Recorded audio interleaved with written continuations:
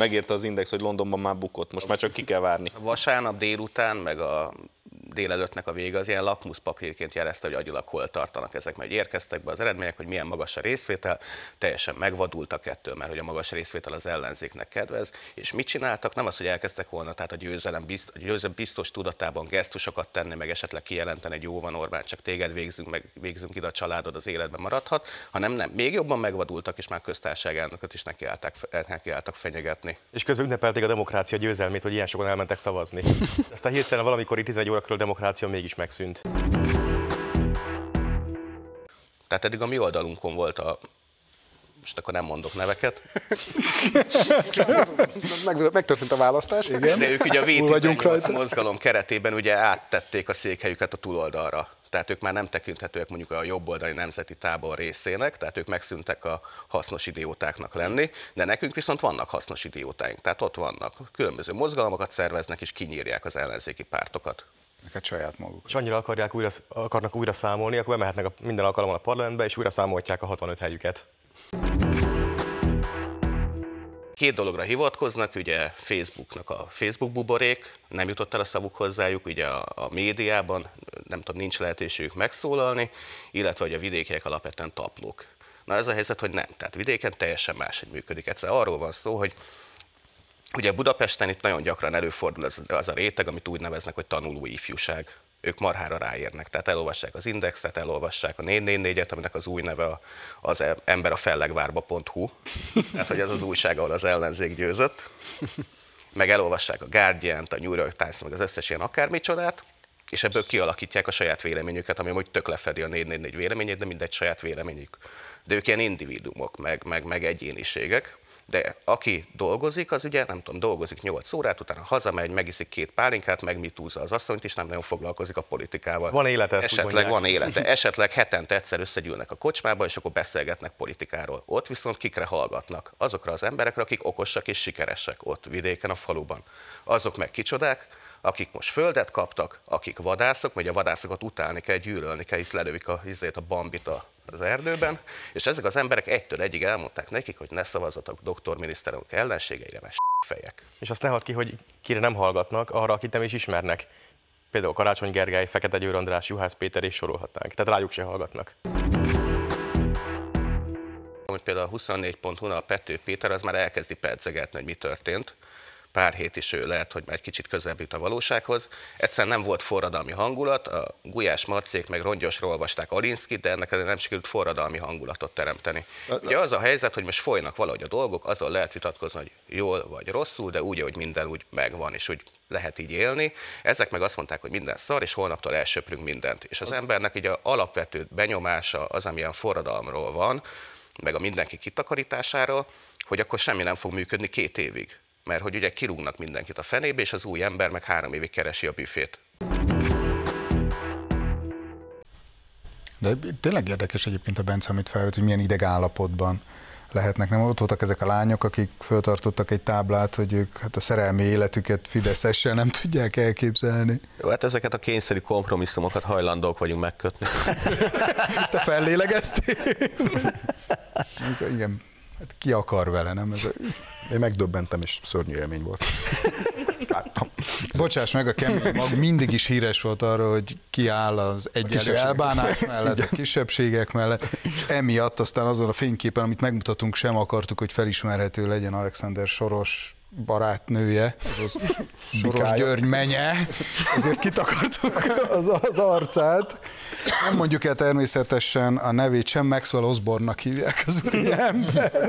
Vilmos szerint műsor. Nem jó sikerült? Nem, nem jó? Szerintem, nem, szerintem ez a kép ez felháborító. A Vilmos, leg, vagy a, Vilmos, a műsor legsikerültebb része lenne, hogy 5 percig csöndbe vagyunk, csak nézzük ezt a fotót. Gyertyákat gyújtunk előtt. Én már látom a holnapi címokat, ótvaros fullad. Szeretném, Remény nem, ez biztos. Nem, szeret, szeretném jelezni, hogy, hogy szerintem felháborító, és ez rasszizmus. Abszolút. Mert, mert azt üzeni a Sorosnak a fia, hogy ő olyan gazdag, hogy van egy saját négere, az, hogy ő ezt mire használja, és szerintem ez felháborító. Soha, soha az életben ennyire felháborító dolgot én még nem. Szeretnék elhatárolódni, és jelent, kijelenti, hogy Gábor viccelt. most Max ez a fiatal... egy kicsit ijesztőbb jelenet, mint a kis Soros. nem tudom, Sanyival láttatok valamilyen jó pár éves interjú volt, ilyen fennakott, bekápszozott szemekkel egy értelmes mondatot nem tudott kimondani, és akkor olvastam az újságban, hogy a Soros Sanyi ide jön Európába, itt majd minden, mindent szétcsinál, meg ilyenek, akkor nekem ez az interjú jutott eszembe. Tehát Jó, a csávó egy bohóc, egy hülye. Most, hogy mellette Maxi az a- meg egy kemény, kemény k***sög. Szabó Mester, én utána néztem a videókat is, meg New Yorkban nagyon jó tud, tehát varni például remekül tud géppel, meg kivágni ilyen. Egyébként az, tehát végülis a soros amennyi pénzt fetszölt ebbe, elég lett volna, hogyha csak a gyerekével foglalkozik így, mert mi- ebben, a- ebben a képben benne van minden, amit a soros gondol a világról. Tehát Tulajdonképpen sikerült. tulajdonképpen sikerült. Hogy leképezi a világra a családján belüli viszonyokat? Hogy Igen, vagy fordítva. meleg szervezeteket támogatja, meg a migráció? Vagy, vagy fordítva, tehát ő, ne- ő ezeket a dolgokat elképzelte, és, és a fiában manifestálódott mindez. Tökéletesen. Na jó. De innen Magyarországra meg kifüstölik, nem most az a hír, hogy Berlinbe költözik, vagy mégse. Ezt majd meglátjuk Hát most. már a zsidókat. Ez megint ez az érzelmi zsarolás, tehát most a soros alapítványok játszák ugyanezt, eddig a 9 hát a választók mondták ugyanezt, hogyha nyer a Fidesz, akkor elköltözöm, nyert a Fidesz, nem költöztek el. Ez anya, igen, és mindig csak ijesztegetnek ezzel, aztán csak maradnak. Tehát egyszer tényleg neki kéne vágni. Van ilyen statisztika, hogy például amerikai választás után azok, akik be, beígérték, hogy el fognak költözni Amerikába? Ser még mindig Senki, ott van. ugye? De hát ők is, azt, tehát ők is mindig azt ígérik, hogy Kanadában. Tehát, hogy mi hova mennek Kanadába, és akkor olyan helyre, ahol viszonylag gazdagok, meg csomó fehér ember él, és akkor mi meg is kérdezték a Trump támogatók, hogy mi a baj Mexikóval? Ha már elhagyod az Egyesült Államokat, olyan szörnyű fasiszta ország lett, akkor miért nem Mexikóba költözöl? Amúgy én szeretném, ha ebből rendszer lenne, tehát bármikor a hatházi bemegy az LMP központi bizottsági ülésére, vagy nem tudom mi van náluk, akkor mindig valaki megverni. Csoda, ez, ez a bizalmi légkör még egy pártban, minden elnökségülésről hangfelvételt kell készíteni. De hogy többet is, és ugye az a problémájuk, hogy nem a hivatalos szivárgot kell, hanem a vágatlan.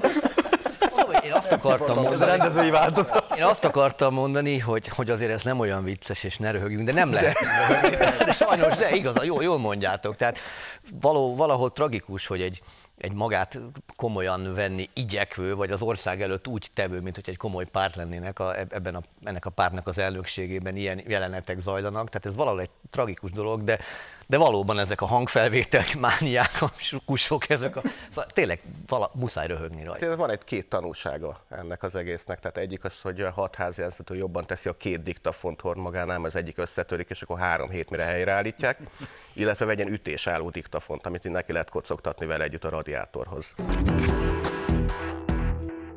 Na mit gondoltok, a választási kudarcról volt szó, arról beszélgettek, hogy vajon ki a, ki a felelősebb érte, Szabó Gábor pártigazgató, vagy Vona Gábor? Hát mi azok a választási kudarcnak? Tehát összekeverték a jobbikot a rock katonáival. Ugye a rock katonái azok, hogy el, elhagynak százak, de jönnek ezrek. Ez a rock katonáira igaz, Paksi meg lehet kérdezni, de a jobbikra nem volt igaz. Hogy át kell alakítani ezeket a szobákat, amit a DK most megkapott. Tehát egyikbe kell egy táncterem, másikba egy detoxikáló, harmadikba meg egy terárium, ahol tudja nézni, hogy a kígyók kígyók. És a Totó kutyát meg lecserélhetne egy fekete mambára. Azt hittem azért kell a terrárium, hogy néha Heller Ágnest is tudja fogadni velük körülmények között. Neki nem kell. Az a jobbik szobája összekeverted. Szóval azért ne irigykedjünk Gyurcsányra, tehát ő apró piroskával él egy háztartásban. Tehát annál már mérges kígyó, de nem is kell. Nem értem a Szijjártó Pétert. Tehát ez a Sargentini jelentésben pont ugyanazok a dolgok szerepeltek, amik 2010-ben ugye három, három havonta összegyűlik, vagy összejönnek erre a szertartásra, ahol ezek a liturgikus elemek elé végig mennek. Végül rapodra hívják Orbán Viktort ilyen évente Igen, és ezek mindig nincs ugyanazok. megszűnt a sajtószabadság, Szijjártó az helyében ugyanazt a beszédet elmondtam volna, amit 2010-ben az Orbán elmondott. Tehát, hogyha ők ismétlik magukat, akkor mi is ismételjük magunkat. Az Unióban példátlan módon férfi, sőt katonatiszt lesz a magyar honvédelmi miniszter, sőt egy új egészségügyi miniszterünk is lesz, aki nem átallotta, mondjuk szerintem nagyon kreatívan egy mondatban említeni a tíz parancsolatot és az egészséget. Nagyon helyes. Két új kedvencemről beszélünk.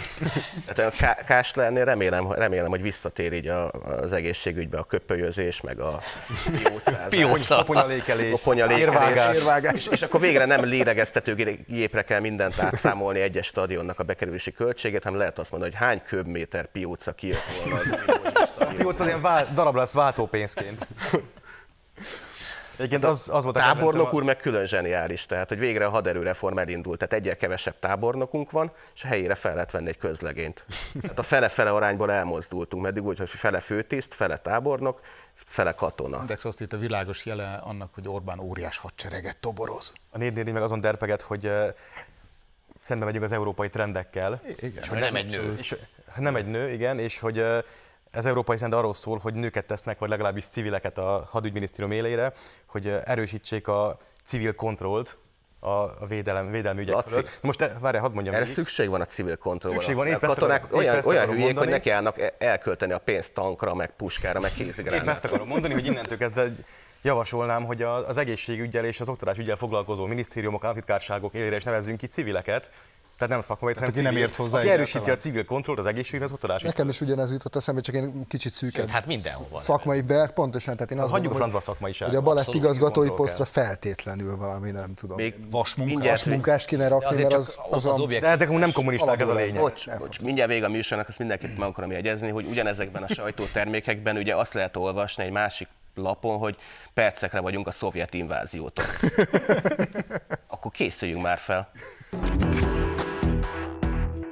Kora délután rögzítjük ezt az adást, ezt a nézőinknek mondom, tehát amennyiben esetleg olyan dolgok történnének a Kossuth téren, például megbukna. Diktátor. megbukna a kormány, Már ugye már rég megbukott, nem tudom, hogy mennyire maradni. látszik, hogy már ugye hányszor bukott meg, legalább ennyiszer, tehát ugye eleve két, az IMF nem fogja hagyni ezt az egészet, és 2011-ben megbuktatja, ugye már csak ki kell várni. Hát az, ami biztos, hogy Nébih botrány, az folytatódni fog. Vagy eddig a egyiptomi mérgezett kömény maggal, ugye szóltak a hírek, hogy mit én, néhány turista megborult a belvárosban a gulyáslevestől.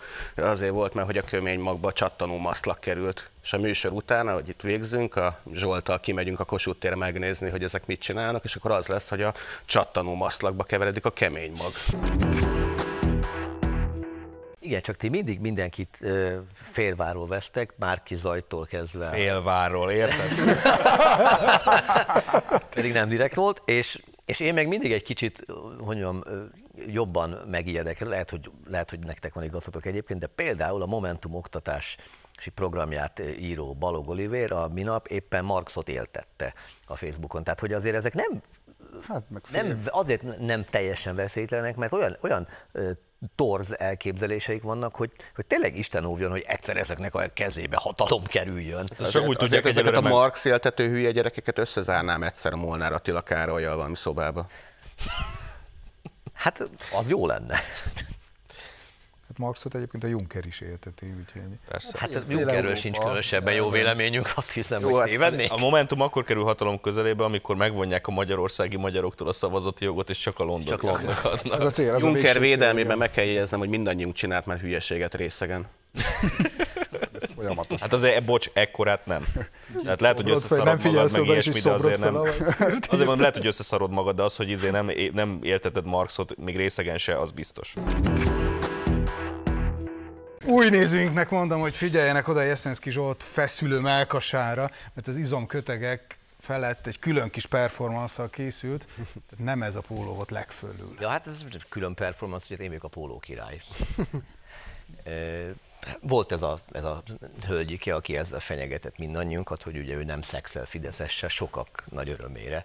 Egyébként én vállalom. Tehát én, én nagyon szívesen továbbra is. Tehát megvigasztalsz egy majd három milliós tábort. Hozzá, így van egyébként, ez egy marraság, aki ebből kizárja magát, mert nagyon csinos csajok, jóképű srácok. Tele van egyébként a Fidesz tábor énekkel. Ugye a kollégáknak nem nagyon ajánlathatom, mert rajtam kívül mindenki szoros kapcsolatban él. De a, ha csak kiindulunk az elmúlt egy évből, azt kell, mondanom, hogy hogy merem ajánlani, mert a fideszes csajok most jön az a kifütyülős részt, ők nagyon jó sz- a, jobbikos borzasztó rosszul egyébként, a választáson szerencsére ez fordítva van.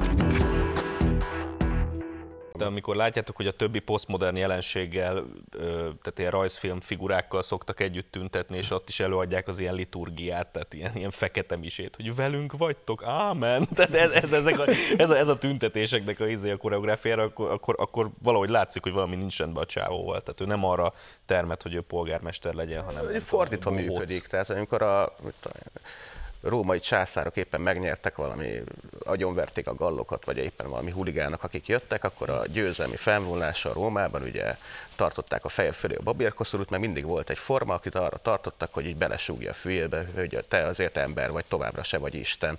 A Márki Zaj Péter meg itt teljesen eltévedt, tehát ő azért tart embereket, hogy azt súgják a fülébe, hogy Isten vagy, Isten vagy.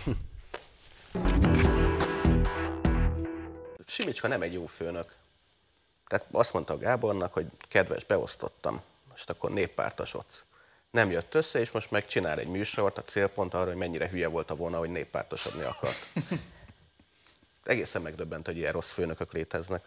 A Vona Gábor meg, meg szerintem elhitte, hogy a, hogy a Lajos nem a viszkit szereti, hanem ő. Mi lenne, ha nem lenne szabad sajtó Németországban? Az a nagy kérdés. És olyan diktatórikus viszonyok olyan lennének, mint Magyarországon. Magyarországon. Kemény lenne azért. Ahol ugye ez az Áron szakterülete kiderült, a világ második legnagyobb pornó oldalától kapott adatok alapján.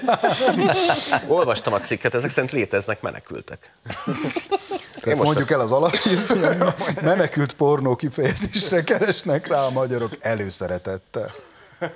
Ugye Amiről van nemzeteket pornó, is tud kategorizálni ez alapján. Nem, de hát a két legfontosabb, hát a lehet. magyarokat leginkább érdeklő két legfontosabb téma, az egyik konstans, a másik meg aktuális, és szerintem ezt a kettőt kötötték össze. Akkor ezek szerint van menekült nemzet, nem? Ugye az Áronnak volt az az okfejtés. Hát az, az, voltak az olimpián, igen. Próbáltak egyszer így megfogni engem, hogy akkor szerintem létez, léteznek a klingonok is, hiszen klingon pornó is van, és mondtam, természetesen léteznek. Hát volt a dokumentumfilmben is láttam az űrszekerekben. A lapos föld szélén élnek, nem is lógatják a lábukat lefelé.